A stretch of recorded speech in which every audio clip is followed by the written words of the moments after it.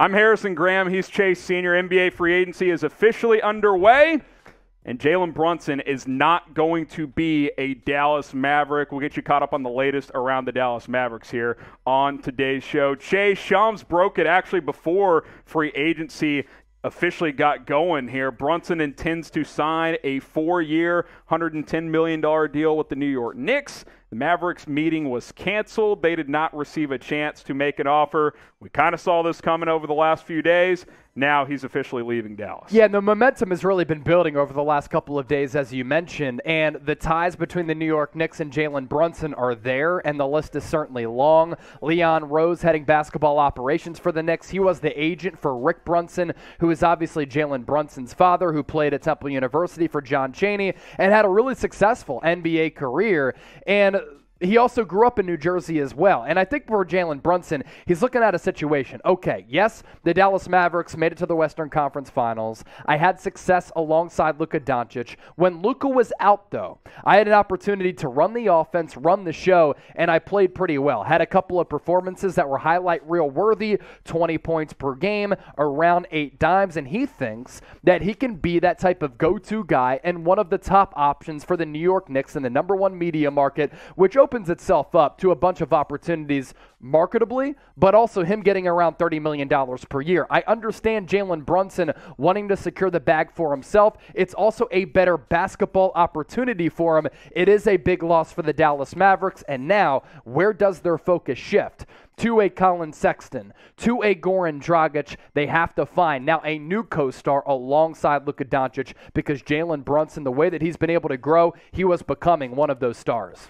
Yeah, and look, I've got a lot of thoughts on this. I think the immediate uh, reaction is a bit disappointed, but I certainly understand. He gets to go play for his dad. He gets a bigger role in New York. He gets to play under the bright lights of Madison Square Garden. I get all of that, and obviously they're paying him a lot of money to do it. I think Dallas would have paid something similar, maybe even more. They could offer the fifth year where New York could not, but it appeared on draft night things started to shift when the Knicks started making those moves by trading for draft picks. Uh, trading uh, assets away. They move Alec Burks and Nerlens Noel a couple of days ago, and you're like, okay, well, they're really making a swing here. And it was pretty clear, I would say, by you know end of day Tuesday, early Wednesday, that this was going to happen, barring a last minute change. I would have liked Brunson to grant Dallas a meeting, considering they did draft him and have given him four years of development. But at the same time, if your mind's made up, then why waste anybody's time, right? Uh, what's the point of going in there and uh, wasting Mark Cuban's time and Nico Harrison and these guys? Now it's up to Dallas uh, to shift into a different direction here and try to figure out what the next steps are. Marc Stein initially reported that the immediate response will not be for a guard. They could circle back to a guy like Goran Dragic later on, uh, but I think they're going to look for a 3 and D type type of defender, a good defensive player, maybe a Matisse Thybulle who's still developing offensively from Philadelphia. Those rumors have been out there. Uh, but Jalen Brunson is gone, and obviously it's a, it's a notable loss. A guy who averaged over 21 points per game in the playoffs uh, during this Western Conference Finals run. Now, just for fun, we'll ask this question. I think we all know the answer. Did the Knicks tamper for Jalen Brunson? The answer is yes, but everyone tampers in the NBA. So that's kind of just how it goes. When your dad is on staff, there's obviously tampering going on. That's just how it is. Y for yes and for no? Did the Knicks tamper for Jalen Brunson? Now, Chase, I do want to talk Kevin Durant. I don't think the Mavs are necessarily in the top tier of teams that could get him. We broke this down on a video a little bit earlier on Mavericks today. Obviously, we've been talking about it during our NBA free agency coverage. Obviously, if Dallas could somehow pull it off to pair him with Luka Doncic, that would be incredible. It does seem unlikely, though. It would be an incredible one two punch. And what's funny, when a player like Kevin Durant becomes available, there are all these reports about Team A being interested, Team B. Well, at the NBA level, there are 30 teams out of all 30 who are interested in Kevin Durant. This guy is box office. He's a superstar talent. Yes, he's getting a little bit older. The injury concerns have certainly reared their head over the last couple of years, but Kevin Durant is a special player. If there's any way that Dallas can pull this move off, he'd be a great one-two punch alongside Luka Doncic, and it would immediately make the Mavericks one of the Western Conference superior teams. But I just don't think they have the player or draft assets to give up to the Nets to appease them to bring in KD because it literally could be a historic deal in terms of a trade.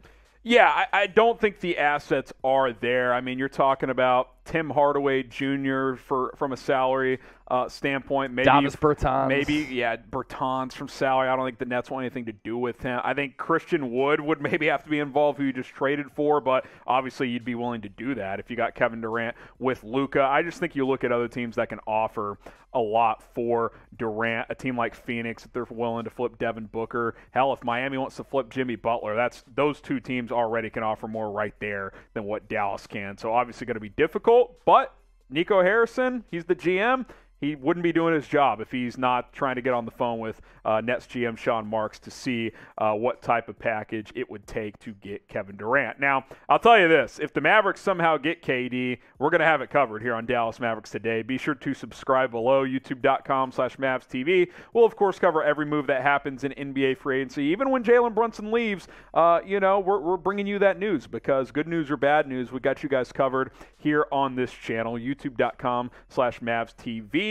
That's youtube.com slash Mavs TV. Now, Marc Stein had a Kyrie note. We'll get to that in a second if there's interest with Dallas. Uh, but first, let's get to this, Chase. JaVale McGee, there was a report earlier out of Arizona. Um, because obviously he's been playing with Phoenix, that uh, the Mavericks are expected to pursue McGee. Sounds like the Bucks are as well, according to Tim McMahon. Marc Stein also reported that the Mavs would have interest here, and I think you and I agree as a backup center behind Christian Wood, that's that'd be a really nice get here for Dallas. A legitimate and very important championship piece. He did it with the Lakers, he did it with the Golden State Warriors after a couple of rocky years to start his NBA career where he was really known for being a dunk contest phenom. JaVale McGee has become a really valuable asset as a backup center and a guy who you can play in the thick of a playoff series. And when you look at the Mavericks right now, I think an area in which they need to improve upon is their front court and front line defense.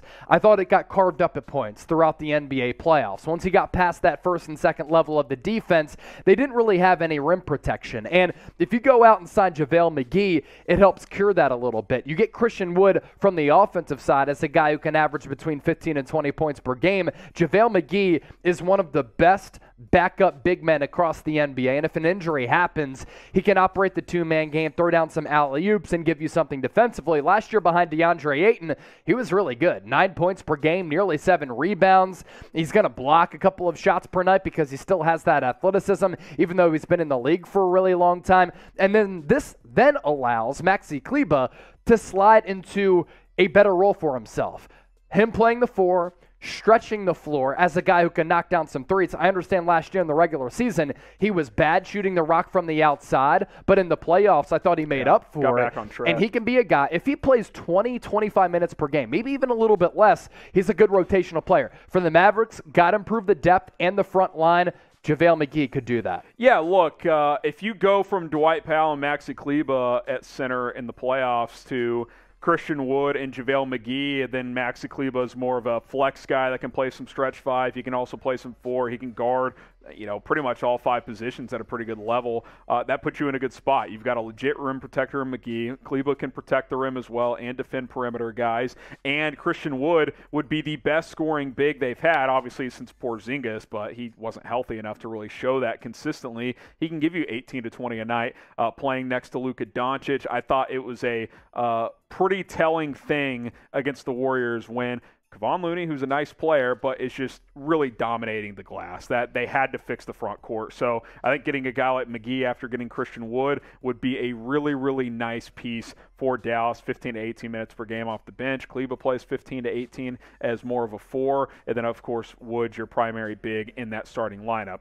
One more note here, Chase, because there's been all kind of conflicting rumors, as right. we'll say, around could Dallas be interested in Kyrie if they lose Jalen Brunson. Uh, Marc Stein, who I trust him more than anybody with the Mavs, and then I'd put McMahon too. Uh, they Stein saying they would not pursue a Kyrie Irving uh, trade, uh, considering he'll probably be on the trade block now too, yeah. with Durant being out. And quite frankly, I don't want to mess with Kyrie. Obviously, the talent is undeniable, uh, but uh, it doesn't look like Dallas would be interested, and I don't think I really would be as well. The player is special. Yes, and there's no question about that. his availability is not special, and it's an absolute problem. And if you're the Mavericks, you're trying to keep Luka Doncic happy. You have momentum right now, even though losing Jalen Brunson hurts. Former second round pick, developmental project. You were able to hit on that selection. Donnie Nelson not giving him that extra year. That's a big aspect of this. But you have momentum. That's the point, right? Yep. And you don't want to curtail that momentum. And can you imagine Luka Doncic, who absolutely loves basketball? He's all about hoop. I mean, the season ends, he's back in Slovenia, hooping. By the way, the biceps look really good too for Luka, as he's getting in good Ooh, shape. he looks can you imagine what would be going through his mind when Kyrie Irving just doesn't show up for a game? Can't have it. Can't man. happen. And I don't think Mark Cuban, who is a business savvy guy, could also deal with the lack of availability and inconsistency from Kyrie Irving. Special player, maddening guy. Not worth the trouble. Keep it moving. You lose Brunson, but uh, that's not a, that's not going to derail what you have. Right. I don't think you just have to rebound here. Who is the best free agent available? Mavs fans, let us know who a player you want to sign. Best free agent available.